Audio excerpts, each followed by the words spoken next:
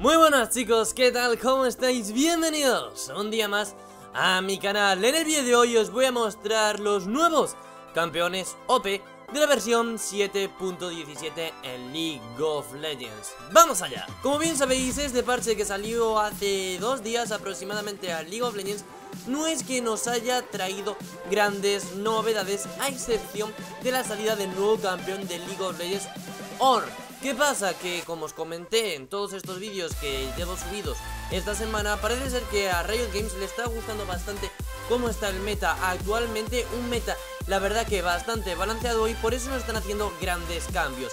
No obstante, siempre suelen retocar algunos campeones para mejorarlos y así intentar equilibrar a todos los campeones del juego.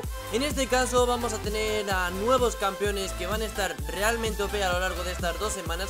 Veremos si en la versión 7.18, perdón, les tocan algo porque la verdad que estos campeones creo que ahora mismo se han vuelto a introducir al meta con los cambios que le han hecho en este parche. Empezamos a hablar de Ezreal y es que a la Q chicos a este disparo místico le han subido el AD radio un 15%. Antes lo teníamos de 1,10, ahora lo vamos a tener de 1,25 ¿Qué pasa con esto? Pues bueno chicos, que a partir de ahora la Q va a pegar bastante más Y esto es algo muy pero que muy importante para un campeón que como bien, sabéis las está spameando todo el rato Estos disparos místicos que es la habilidad tan característica de este campeón la utiliza prácticamente como un básico y la verdad que Ezreal es uno de los campeones que menos estaban viendo la posición de carry y vamos a ver si este cambio lo hacen volver al meta como estaba hace unos meses.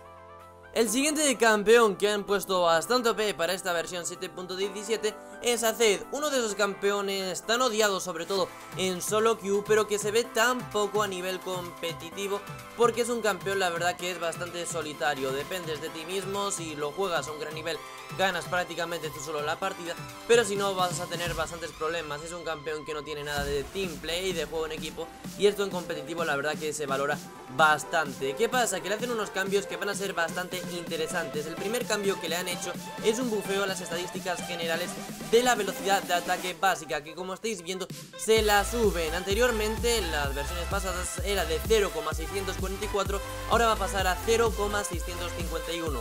Un cambio que le va a beneficiar bastante y que puede que se note. En cuanto a la duración de la sombra de esa W también se la suben medio segundo, con lo cual a partir de ahora los combos de se van a hacer eh, mucho mejor y esta duración de la sombra va a permitir hacer incluso más plays y mucho más bonitas. Veremos cómo queda este campeón, veremos si se juega más, veremos si le aumentan un poco el win ratio porque la verdad que es un campeón que Sí que es verdad que en solo queue se banea bastante, es un campeón al que la gente le suele tener bastante miedo, pero nunca da todos los resultados que son esperados para un campeón de estas características.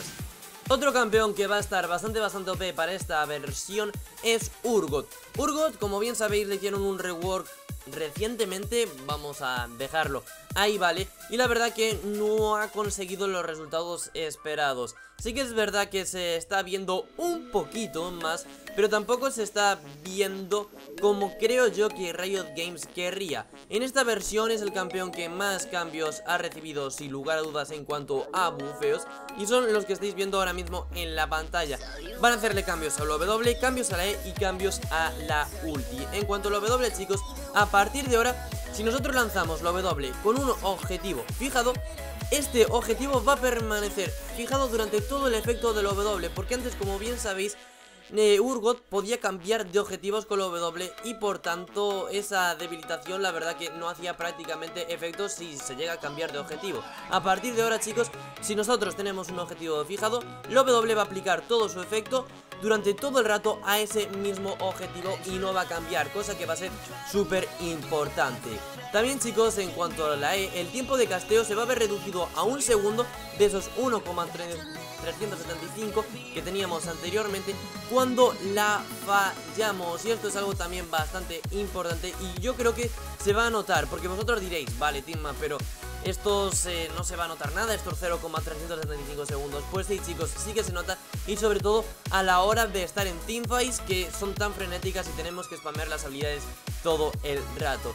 Y por último chicos, en cuanto a la duración de la ralentización y el tiempo de reactivación va a pasar a 4 segundos de los 3 segundos que tenemos eh, o que teníamos anteriormente Lo cual chicos como estáis viendo son bufeos para un campeón que yo creo que los necesitaba Ya que le hicieron este rugor como os comentaba hace un momento Pero no está consiguiendo unos resultados ni mucho menos buenos. Así que nada chicos estos son los cambios que hemos tenido para esta versión en cuanto a bufeos, en cuanto a campeones OP La semana que viene os traeré un vídeo al canal en el cual vamos a analizar los campeones más rotos para que los podáis aprovechar, para que los podáis jugar Pero obviamente es imposible sin tener ningún tipo de estadísticas porque el parche, como bien sabéis, salió hace un par de días y estos presumiblemente van a ser los campeones que van a estar más OP con las notas, con los cambios que le han hecho en la versión. En este caso, como os comento, 7.17. Así que nada chicos, dejadme todo el feedback si es posible en los comentarios si tenéis algún momento, ¿vale? Si tenéis un minuto para comentarme qué os parecen estos tres campeones y sobre todo si le veis